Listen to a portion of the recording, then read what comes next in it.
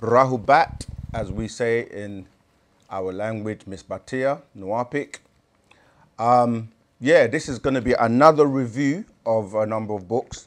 For the newcomers, these books, if you've watched our series, series one on Ask Us Anything regarding Wu Sabat, um, a lot of people are asking us about the different scrolls and the information that we talk about.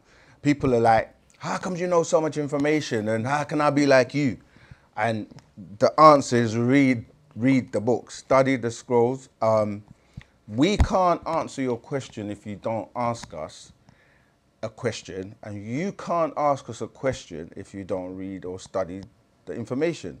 So it's kind of like, unless you ask us the question, sometimes it's hard for us to remember. So we have to go into the dome. But mm. just to give you a quick um, summary of what Wu Sabat is about, Wu Sabat is the hereafter doctrine, meaning that we're in after the year 2012, after the dimensional shift, after the year 2000, which is the sun cycle, has come in, there's new information that is here to liberate and help humanity.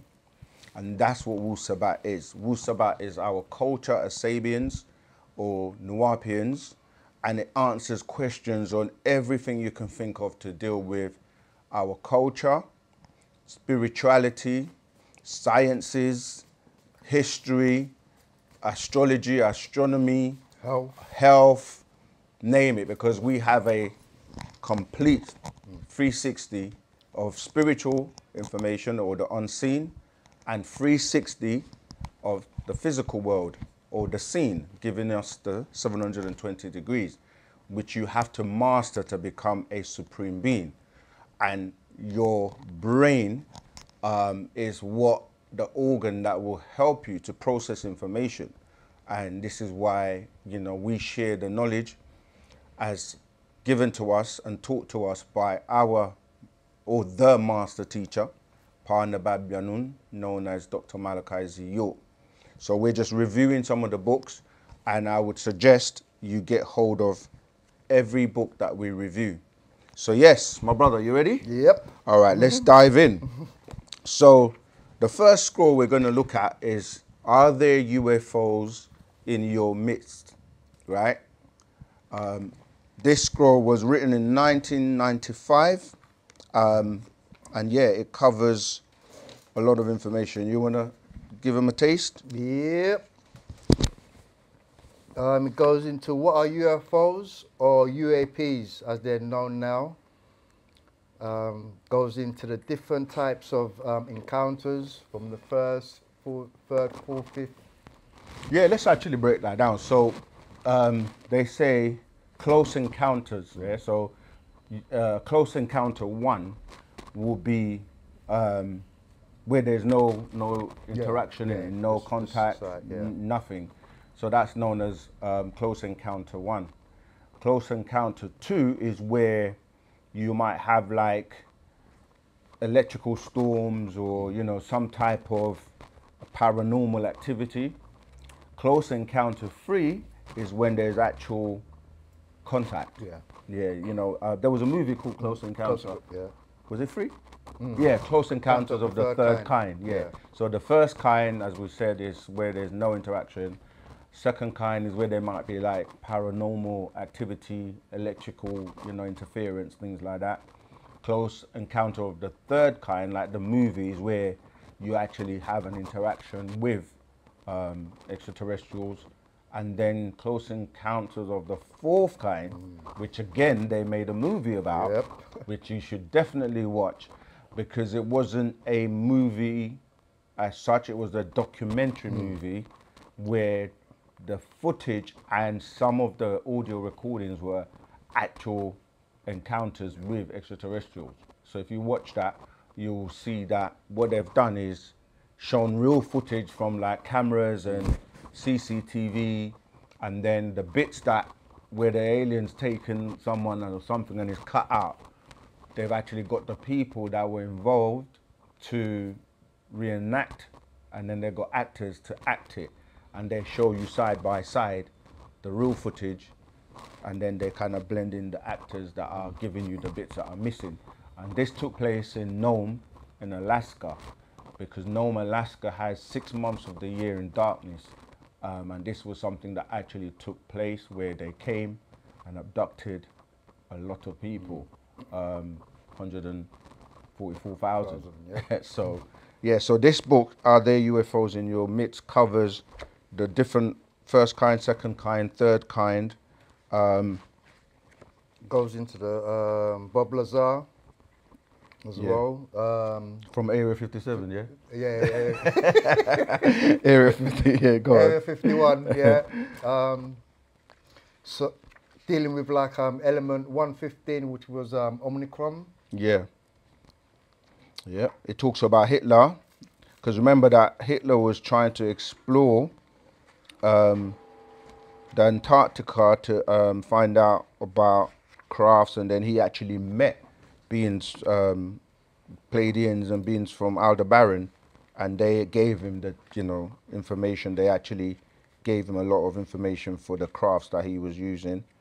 Um, it talks about the Ashtar command that you know Adolf Hitler was was um, in contact with. Um, obviously, David um, Dwight David Eisenhower and people like Harry S. Truman, who were presidents of America, they basically they also had you know contact and they made deals with some of these extraterrestrials. And what's important? Look at this. This is um, the predator being, yeah and the, this is a being that comes from Andromeda, and um, this is where when you saw the movie, The Predator, people were like, "Wow, that looks exactly like the being in the books." Um, yeah, so these these are beings that they're also um, from from um, Pleiadians, Andromeda. They're like grasshopper-looking predators. Yeah, and then you've got the draconians, the different types, species. Um, the crop circles, it goes into that. A lot of crop circles. Sirius A and B goes into Sirius A and B. The um, the Nommos came from, who had um, encounters with the the Dogon tribe in Mali, West Africa. Mm. Yeah, and it's, it documents actual people that had encounters. It goes into some people have like little holes in their ears. I yeah, you're just about to go into that. Yeah, yeah. Go on, you can go see, for it. see the holes in the ear?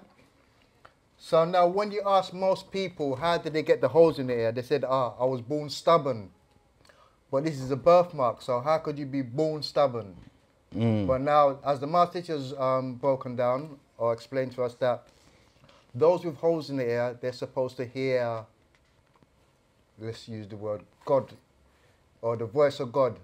We should be dealing with like tone, sounds, and frequency. So those people are supposed to be guide guide people to safe spots on the planet. Yeah, so it's about um, certain certain broadcast messages from crafts, and only certain people may have the ability to, to pick them up. And um, when the time comes, when you know when these these messages are being sent, um, only certain people. Now, not everyone who's got a, a Yeah, hole in oh, their yeah, ear, they're yeah, gonna yeah, say like, "I must be," you know. But yeah, there's specific people that have like there are also certain people that have been abducted and they have little chips in their body somewhere. They just wake up and they're like, "What's that?" Um, and sometimes it's because these extraterrestrials put chips in them to mark them, and this is how they can always find them wherever they are. Um, pick them up and examine them. Yeah. Um, what else does this book go into? Um, Val Thor, who worked in the White House, a visitor, extraterrestrial. There's a picture of him with his crew. Don't know if you can see that. That Valiant Thor. Yep. Um, yeah, you got all the different types of beans. The Sirians, which are like your shaggy beans. You got um, the different species of greys and reptilians. Um, I mean, so go on. Yeah, it goes into the draconians as well. Winged reptilians, non-winged reptilians, greys and human interaction. Yeah. Um, if you really want to know about you know what I mean? Like the extraterrestrial or the EBEs, as we've mentioned before, that were captured um, when when they crash. You know the the New Mexico. You've heard about Roswell, New Mexico. There are actual pictures and even like, you know, the actual bodies of the craft of, of the beings that, you know, what I mean that died in the craft, and they took them to places like Area 51. Um, yeah, so all the evidence it talks about the Anunnaki, deals with Ninki, Ninti, Apsu, Tiamat, um, and how they were obviously running the um, the laboratories um, in what they call the underworld, and um, carrying out many many experiments um, to create different types of beings until they perfected the Homo erectus. So you got genus Homo, then that evolved into Homo genius, then to the you know Homo erectus, which means to stand up straight or upright, to the Homo sapiens. And um, as you know, we've broken down that today in terms of the scientific classification of the races, because again, um, when we talk about extraterrestrials and when we say UFOs in your midst, it's like when you look at the clouds, you know, sometimes you look at a cloud and it's got a very funny shape or it moves in a particular way. And you're like, how is that cloud moving like that? Because a lot of times these extraterrestrials use the clouds as camouflage to hide and cloak themselves. Um, so you have, yeah, look, in, look up and study, study the skies and study, you know, what clouds are doing when they're doing it, and you will start to, you know, find out that some clouds don't behave like clouds. Yeah, so yeah, nice little book to have in your in your library. Um, yeah, I mean, is there anything else you want to cover? Um, also goes into the Betty and Barney incident. Yeah, lo- lots of um, abductions in this book. People, you know, giving their testimonies, talking about the different experiments that were done Who- on them. Betty and Barney? Betty and Barney, Yeah. they were abducted or they had a UFO encounter. Yeah. I think it's in the late forties. Was it? All right. So they actually like giving their Six- testimony of, of what happened. Betty and Barney Hill, Yeah. September 9th, 1961, in Portsmouth, New Hampshire. Okay. Yeah. Yeah. I see it. Yeah. I read this a very long time ago. You know, but um, this is what we're saying about the more knowledge you accumulate. You know what I mean? The more like you can put the pieces together, because the world would like to play out like there's no extraterrestrials or no UFOs and make people think they're crazy. Well, back in the day anyway, like mm. in the 90s when we were being taught this information, if you spoke about extraterrestrials or UFOs, you were made to feel like cuckoo, like you're going crazy, yeah. But now there's so many sightings, and with like mobile phones and technology and video footage and many people being abducted all around the world, it's become nothing now, like for people to talk about that. You won't get ridiculed like before. So this book, again, as we always say, Dr. York was way ahead of his time.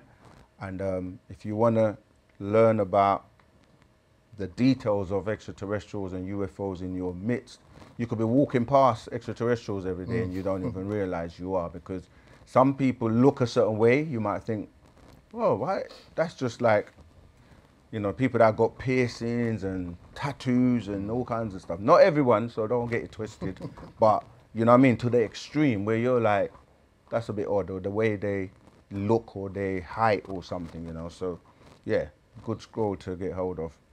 All right, remember Wu Sabat is here to to bust the spell. Yep. Yeah, so yeah. All right, we're gonna move on to the next one.